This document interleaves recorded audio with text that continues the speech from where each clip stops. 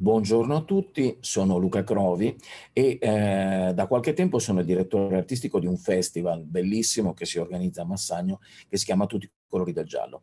Quest'anno, per lanciare la nuova edizione che ci sarà in autunno, abbiamo deciso di regalarvi un evento speciale e di festeggiare, come si sta facendo in tutto il mondo, il Dante D. Il Dante D è il 25 di marzo, che è la data nella quale si suppone eh, Dante Alighieri abbia iniziato il viaggio eh, nell'aldilà raccontato dentro alla Divina Commedia e lo festeggeremo con il comune di Massagno con un'occasione molto particolare. Avremo la possibilità di mettere in onda gli audio audio del commento del primo canto della Divina Commedia letta da Vittorio Sermonti, che ci ha messo a disposizione Emmons, assieme alla lettura del primo canto.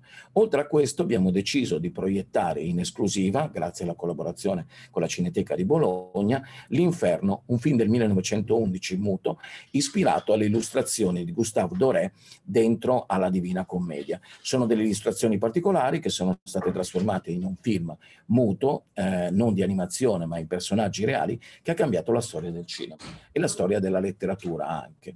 È una cosa molto particolare, quella che vedrete, la vedrete per 48 ore, messa a disposizione integralmente sul sito dello streaming del Cinema Lux di Mansagno.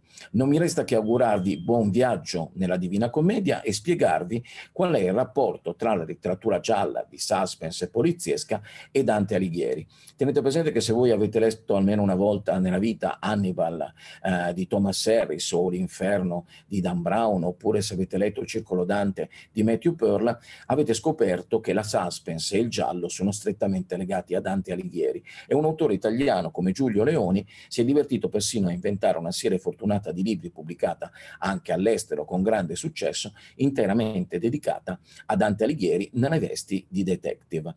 Eh, a Massagno scoprirete quanta suspense c'è in un'opera come la Divina Commedia, che è una storia che parla di crimini, di criminali, di punizioni, di pene del contrappasso e che sicuramente è ancora oggi attualissima. Buona visione e buon ascolto da parte mia, da parte del sindaco di Massagno Giovanni Bruschetti e da tutta l'organizzazione di tutti i colori del giallo. Buon Dante D a tutti e buona visione e buona esperienza sonora.